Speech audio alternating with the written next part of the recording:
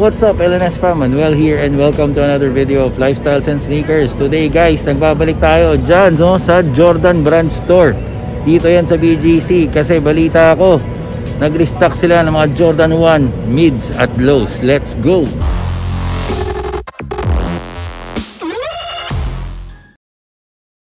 So para sa mga naghahanap ng mga Jordan on retail, kahit Jordan 1 low lang or Jordan 1 mids, meron dito marami daw guys. Kasi balita ako nag-restock sila.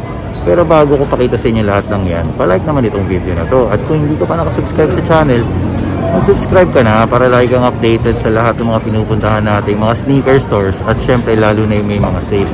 Anyway guys, hindi ko na nga papatagalin to dahil excited na rin ako makita kung ano-ano yung mga Jordan 1 mids at low na available dito. Let's go!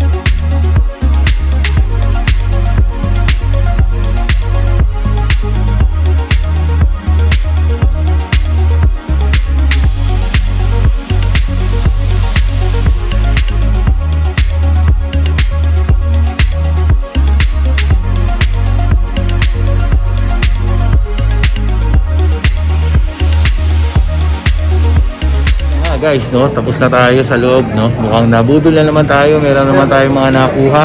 Abangan nyo yung aking mega unboxing dahil marami-rami itong a-unbox natin ng mga Jordan 1, no? Lahat puro Jordan 1 lang.